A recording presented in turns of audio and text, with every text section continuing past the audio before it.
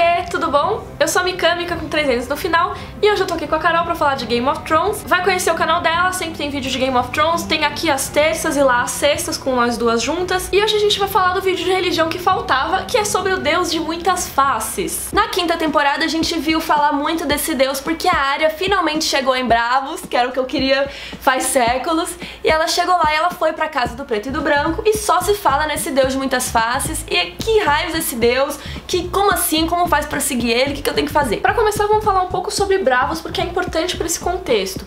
Bravos é uma cidade cheia de canais e ilhazinhas, e ela foi uma cidade formada por escravos. Esses escravos tiveram como um dos seus princípios que a cidade não ia ter religião oficial, ou seja, qualquer religião pode ser praticada em Bravos. Cada religião tem o seu templo lá, tem um monte de templo, e isso é uma característica essencial para que possa existir o templo do Deus de muitas faces lá, porque ele nada mais é do que meio que a junção de todas as religiões do mundo. O Deus de muitas faces representa todos os deuses da morte. De todas as religiões, sempre tem um deus da morte e ele representa todos eles meio que numa coisa só. Por exemplo, na religião da fé do Sete, que a gente falou nesse vídeo aqui, ele representa o estranho. Na religião do Deus Vermelho, o próprio Hulor representa a morte também. Então tem lá uma estátua do coração que representa Hulor também na casa do preto e branco. E às vezes pode ser um deus só, mas que também representa a morte nas muitas características deles. Por exemplo, Hulor também representa a morte pro Deus de muitas faces. Lembra lá quando Sírio Forel fala pra Arya, só existe um Deus e o nome dele é a morte. E o que nós falamos pra ele?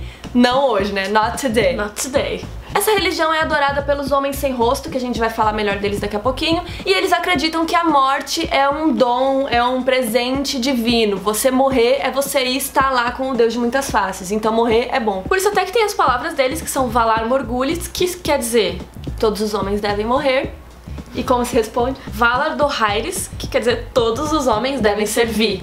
Porque outra coisa importante para eles é esse, esse momento de servir, de você ajudar a comunidade.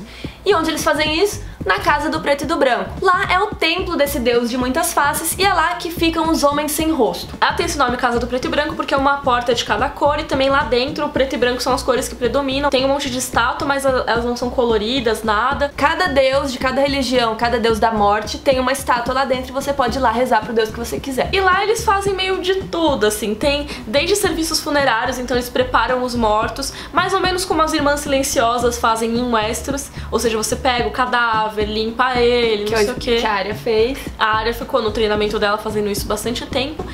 E também eles têm um negócio que é dar o presente da morte. Que é, tem uma fonte lá, você pode pegar um copinho, depois de você decidir lá, rezando pro seu Deus, você pega um copinho, toma essa água e morre pacificamente. É uma morte tranquila, gostosinha. É uma morte ótima.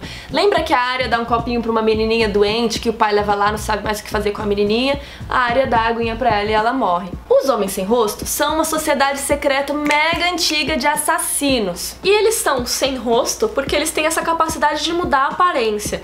E uma das maneiras que eles têm tantos rostos é que eles pegam das pessoas que morrem lá na casa, de, na casa do preto e branco.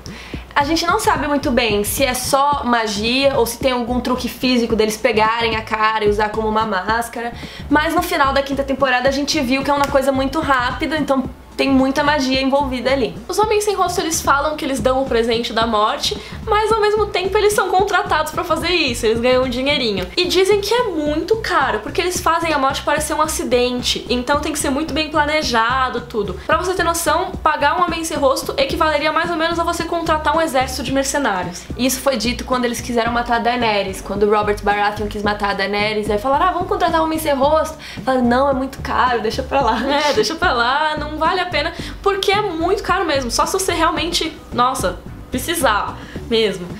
E outra maneira de você pagar um homem sem rosto é você servir eles o resto da sua vida. Pode ser também, mas e principalmente matar um rei ou uma rainha é mais caro ainda e tem uma regra aí que eles não podem matar gente conhecida. Tipo, eu nunca poderia matar a Miriam. Eles podem só matar gente que eles não conhecem. Aí beleza, como você faz? Gostei dos Homens Sem Rosto, quero, entrar. quero, quero, quero escrever. Que foi basicamente o que a Arya fez, né? Então galera, quer entrar aí? Como que faz, né? Valar Morgulhos.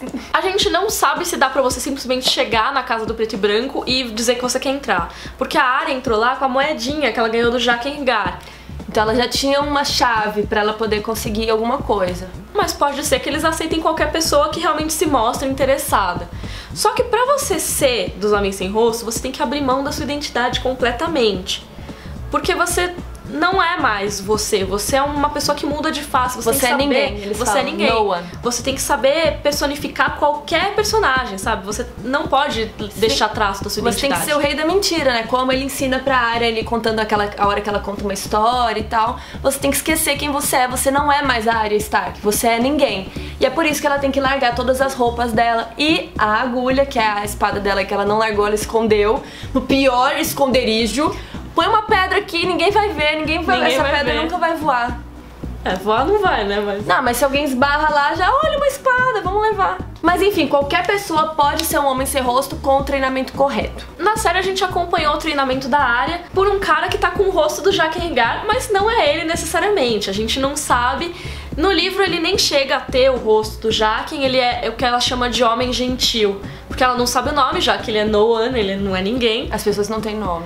É, ninguém na casa do preto e branco tem nome, então ela sempre re- se refere às pessoas com apelidos, assim, ah, aquele homem gentil me falou tal coisa. E aí ela vai, fica limpando os corpos, aí depois no livro ela tem treinamento de venenos e recebe. Não, e o treinamento dela no livro demora, demora, Demora muito, o demora livro muito. inteiro. Ela aprende quais são os venenos, ela aprende quais formas de enganar uma pessoa, tem essa coisa de mentir. Uma parte do treinamento é ela andar pela cidade e ficar trabalhando na cidade, que nem ela tava fazendo, Na verdade, é- e tal. E essa parte no livro, ela, não, ela fica morando lá em Bravos, ela nem tá morando na casa do preto e do branco, ela tem que se virar nas ruas. É triste? Triste.